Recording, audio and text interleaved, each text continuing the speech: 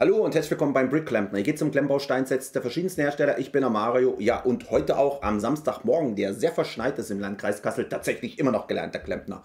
Heute geht es um ein Set von Super 18K.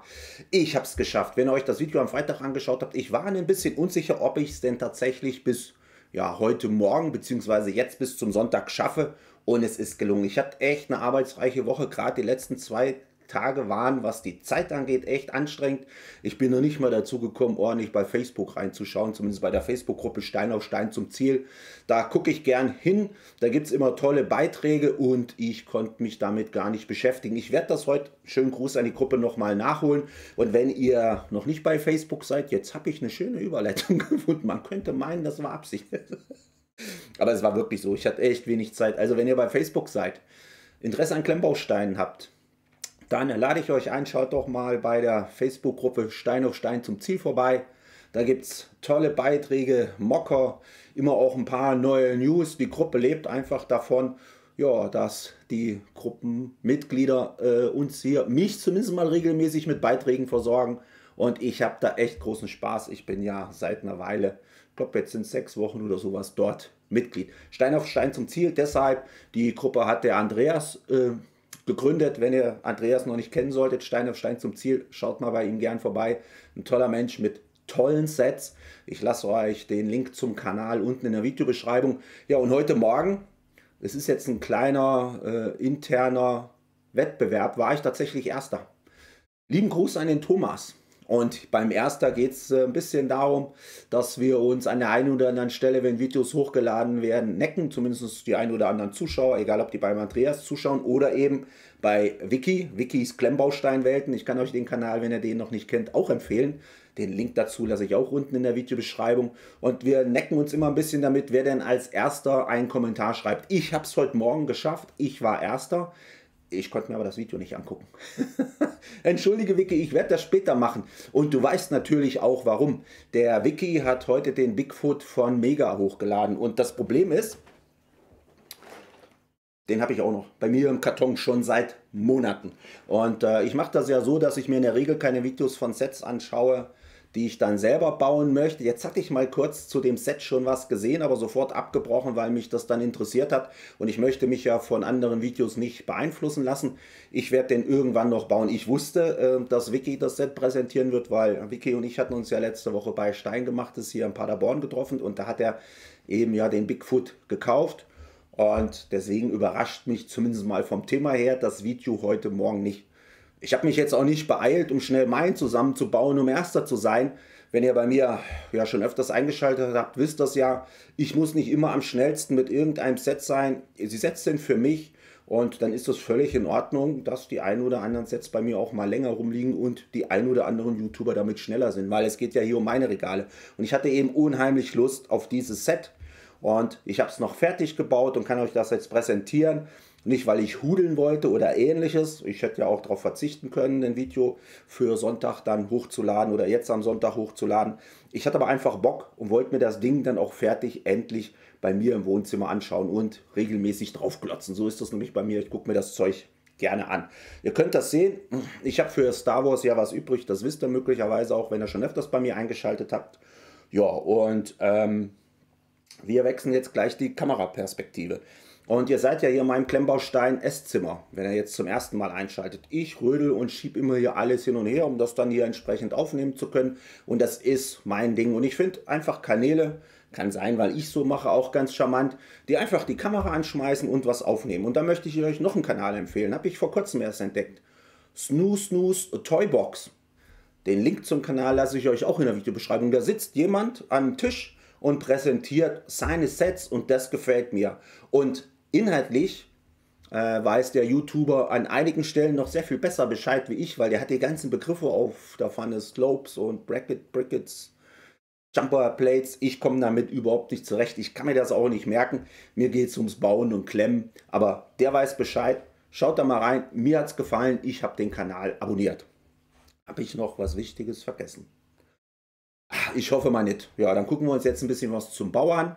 Ich hatte am Ende bei dem Set eine Schwierigkeit.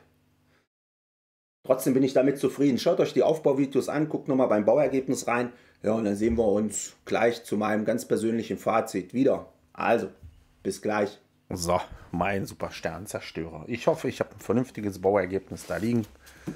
Super 18K. Äh, waren 2000 Teile. Das ist die Vorderseite. 2116 Teile. Ja, dann machen wir mal auf. Bin ich mal gespannt. Super 18K, da war ich eigentlich ganz zufrieden in der Vergangenheit mit.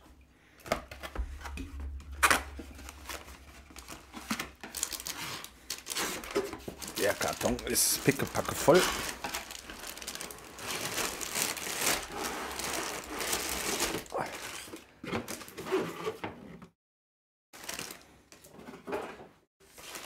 Bauabschnittstüten. Anleitung.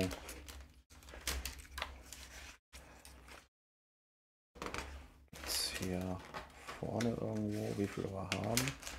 Sieben Bauabschnitte. Ja. Sehr gut. Dann haue ich es mal auf den Teller. Dann lege ich los. Ich bin gespannt. Bauabschnitt 1. Es gibt zwei Tüten sortiert. Ist schon mal ganz gut. Ist ein bisschen matt. Nicht verkratzt, aber so ein bisschen matt. Hier wahrscheinlich auch. Ja, so leicht, ganz leicht. Die sieht wieder gut aus. Meine ich. Ganz okay. Hm. Mal zusammendrücken.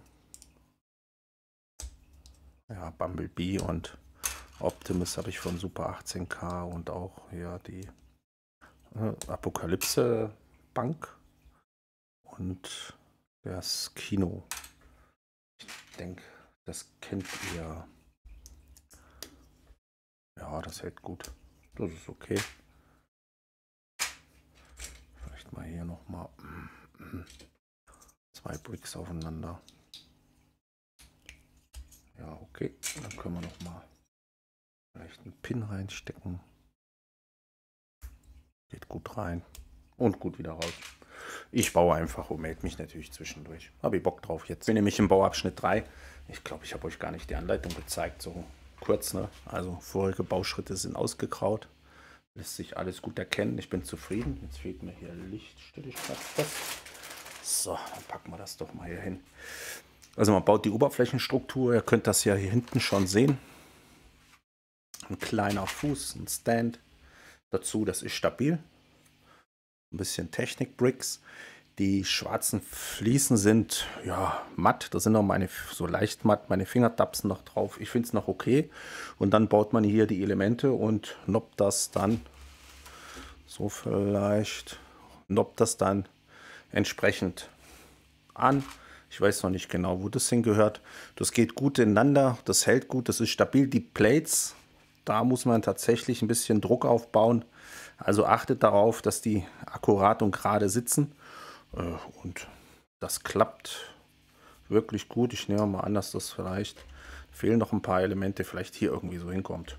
Mal schauen, lassen wir uns überraschen, aber also mir gefällt Es Es geht gut. Jetzt wird es spannend. Bauabschnitt 4 ist abgeschlossen. Ich habe ja, im Endeffekt hier die ja, Oberseite gebaut. Ach, hier fällt es schon wieder ab. Das ist echt blöd. Das hält nur hier an diesen beiden Gelenken, ist hier oben festgemacht. Also, laut Anleitung soll ich das gute Stück hier auf dem Rücken legen und dann wird ja, verkehrt rum praktisch hier befestigt. Da bin ich mal sehr gespannt, wie das halten soll. Und da hinten dran. Ich probiere das jetzt mal. Das hier geht mir immer wieder ab, weil sich das verdreht. Ich werde das erstmal ansetzen und gucken, ob ich das dann nachträglich nicht gut dran kriege. Äh, ich zeige es euch gleich nochmal, ob es geklappt hat. So, es hat geklappt. Das ging überraschend gut. Das hätte ich gar nicht gedacht. Jetzt sind mir hier oben ein paar Teile abgegangen, weil es auf dem Rücken lag, weil ich so ein bisschen hin und her geschoben habe. Aber ähm, war ja dann kein Problem. Ich habe es auch mal erstmal wieder dran genoppt. Ich die andere Seite anbringe, dann äh, wird es mir wahrscheinlich auch wieder abfallen. Ich will mal gucken. Ich hoffe, das geht so. Ja, könnt ihr das sehen? Die Unterseite, ja, so vielleicht.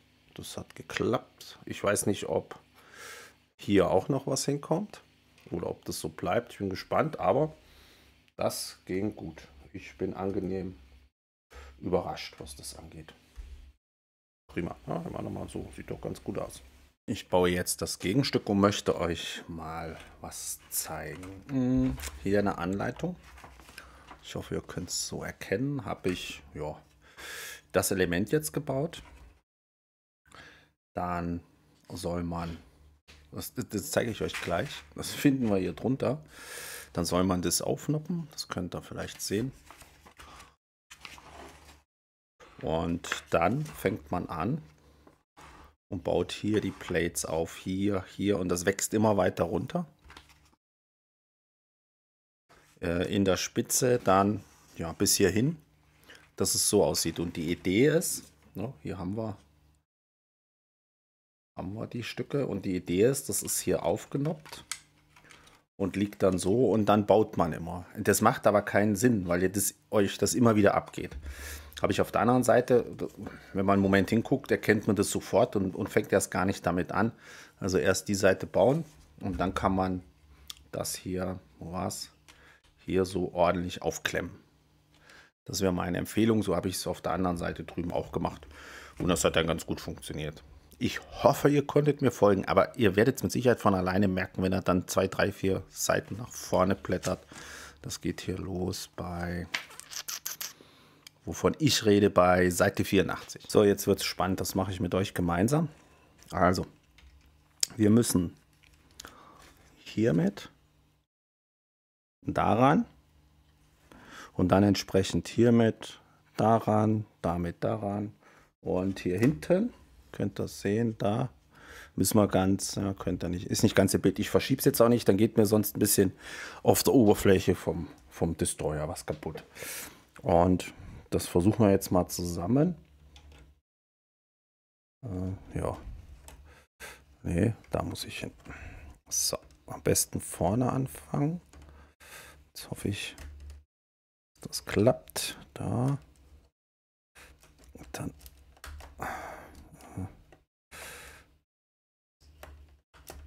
Da. Hier. Hier kann man gut gegendrücken, das, das geht ganz gut. Da hatte ich erst Sorge. Und dann hier. Hinten. Zack. So, und dann haben wir den noch. Und da ist es das Beste. Da müssen wir jetzt mit den hier rein. Habe ich auf der anderen Seite auch so gemacht, dass man das nicht versucht komplett dran zu drücken, weil das klappt eh nicht. Jetzt muss ich gucken, von oben, das kann ich jetzt nicht mit euch machen, ordentlich, dass ich die Noppen erwische. Aber sollte gelingen. Ich probiere mal, wartet. So, gleich beim ersten Mal erwischt. Und jetzt hoffe ich, es genauso gut drehen kann wie vorher. Das wird langsam schwer. Ups, geht gut mit dem Fuß. Und jetzt hatte ich hier, das ist mir vorhin auch schon einmal passiert, ein bisschen was zerstört. Hm. Das bringe ich jetzt mal. Wo ist es denn jetzt hin? Ach, da. Also am besten, wir machen das so. Er noch dabei. Ich hoffe, es ist jetzt nicht so langweilig. Dann gehört der hier hin. Das weiß ich noch, wie gesagt, weil es mir bei der anderen Seite auch abgefallen war. Kurz. So. Ja, das ging echt gut. Hätte ich, hätte ich so nicht gedacht. Hier ist eine relativ große Lücke. Mal gucken, ob das so bleibt oder ob hier noch was drankommt hier vorne. Bin mal gespannt, aber so gefällt es mir gut. Man kann es ordentlich hochnehmen, ihr seht das. Und jetzt wird noch unten verbaut. Ich war ja vorhin noch ein bisschen unschlüssig, aber es gibt ja noch Bauabschnitt 6. Und dann wird das nochmal ja, zugebaut. Hm, schick. Er liegt da wieder auf dem Rücken. Beim Umdrehen aufpassen. Es ist so schwer, dass ja, die Vernoppung sich hier lösen kann. Ähm, habe ich wieder alles zusammengekriegt, kein Problem, ist jetzt nicht komplett auseinandergebrochen, aber äh, bisschen vorsichtig sein. Die Antriebe angebaut, ja und jetzt ja, die Unterseite Und dann müssen wir hier wieder ran. Und dann müssen wir daran. Das mache ich jetzt mal ohne euch, weil da muss ich jetzt aufstehen und, und ein bisschen hingucken, dass, das, dass ich die Noppen erwische. Fertig. So, noch ein bisschen Licht erstmal. So sieht ja, einer der kleineren Sternzerstörer aus. Seht das ja, hier sitzt einer, drüben einer und zwei sollten hingestellt werden. Ich habe jetzt einfach einen noch hier oben mit den Transclear Round Bricks draufgesetzt. Gefällt mir an der Stelle gut. Den vierten lasse ich weg. Man muss es ja auch nicht übertreiben. Dann, bevor wir noch mal ein bisschen aufs Detail gucken, habe ich eine Lösung gefunden. Ich hoffe, ihr könnt das so erkennen. Ähm, 1, 2, 3, 4 ja, von den Kellen und dann jeweils zwei, ich nenne das mal von den Roboterarmen. Und das hält jetzt gut zusammen.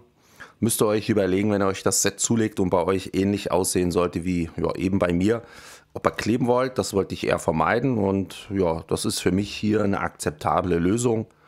Und ja, nicht ganz der Filmvorlage entsprechend. Trotzdem ist es für mich okay. Dann können wir vielleicht mal kurz noch unten drunter schauen.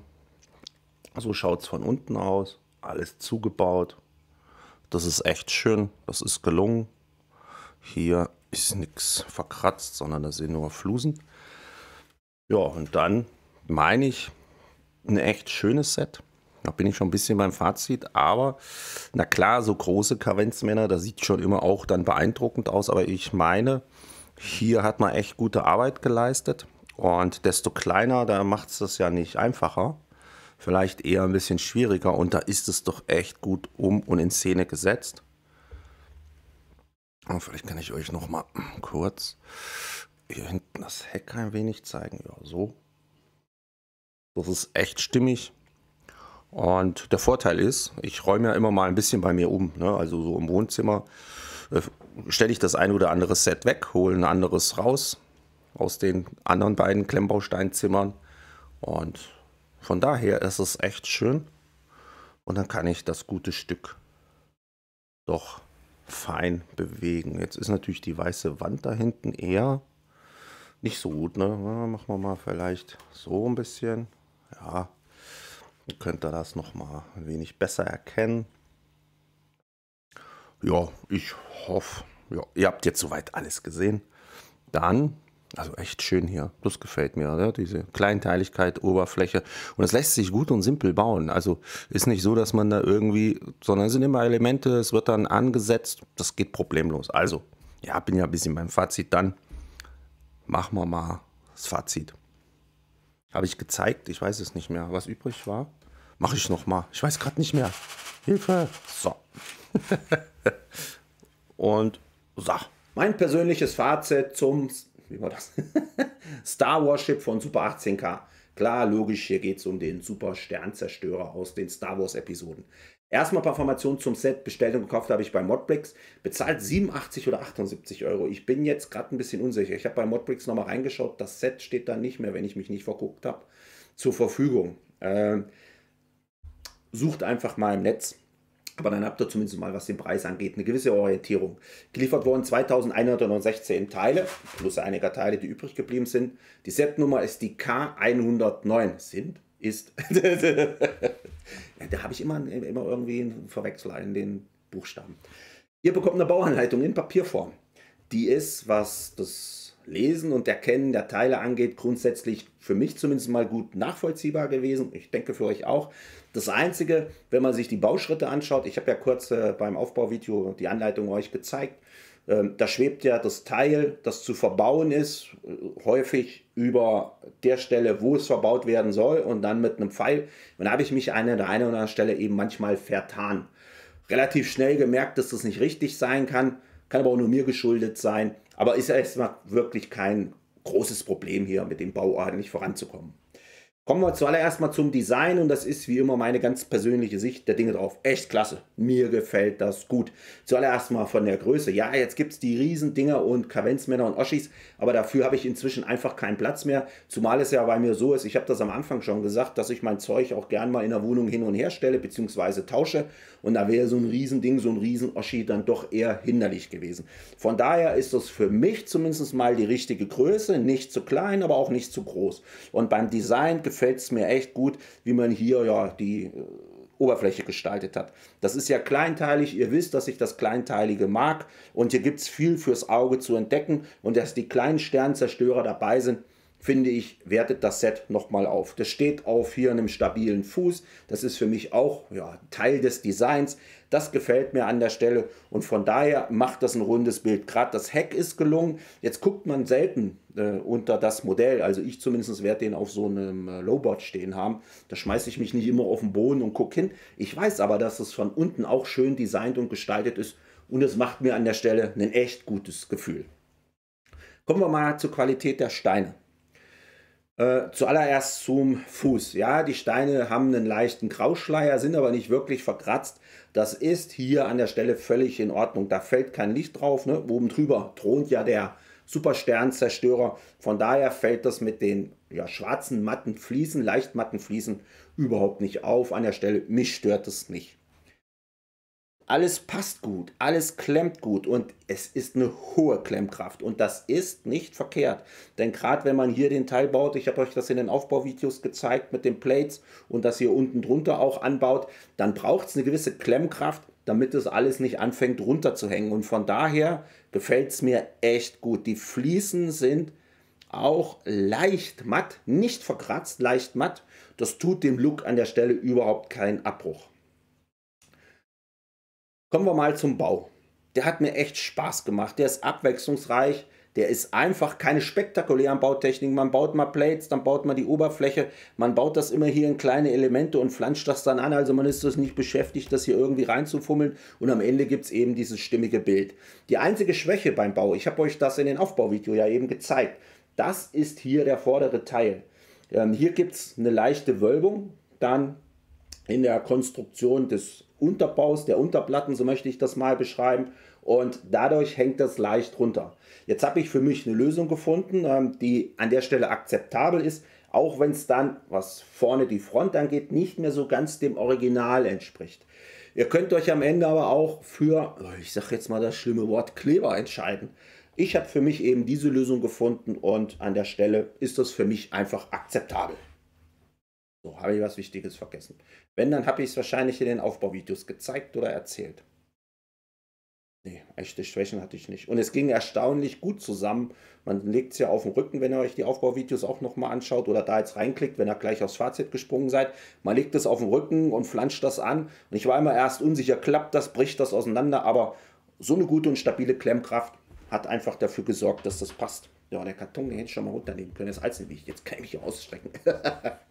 ja, dann messen wir mal gemeinsam aus. Ich gucke nur mal, dass es gescheit im Bild steht. Lang. Mit der kleinen Verlängerung hier vorne. Ich mache mal so ungefähr.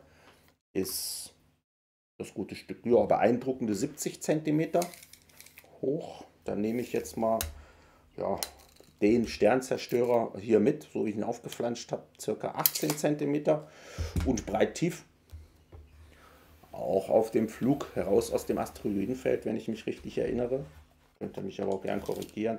Ich, ich mag Star Wars unheimlich, man sieht es auch, aber ich, ich gucke da, ich habe das nicht alles so im Detail im Kopf. Ähm, ich denke, ist trotzdem okay. Und breit, so wie ich es hier habe, circa 29 cm. So, einen absolut gelungenes Set. So, stellen wir es mal noch ein bisschen so. Mir macht Spaß. Für mich die richtige Kaufentscheidung. Ich habe es nicht bereut. Was gibt es nächste Woche? Ich bin noch ein bisschen unsicher. Jetzt hat mich ja die Alien Queen so begeistert. Das Video vom Freitag. Wenn ihr noch nicht geschaut habt, guckt da gerne mal rein. Und ich habe ja noch zwei Alien-Sets liegen oder zwei Sets, die sich mit dem Alien-Thema beschäftigen. Ich habe Bock, eins von denen zu bauen und ich überlege gerade, ob das nicht in Konkurrenz steht mit einem Set von Fantasy.